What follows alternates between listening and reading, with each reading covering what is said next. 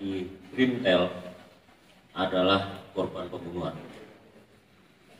Dan untuk tersangka saudara AA sudah diamankan dan menjalani proses penyidikan di Polres Metro Jakarta Pusat.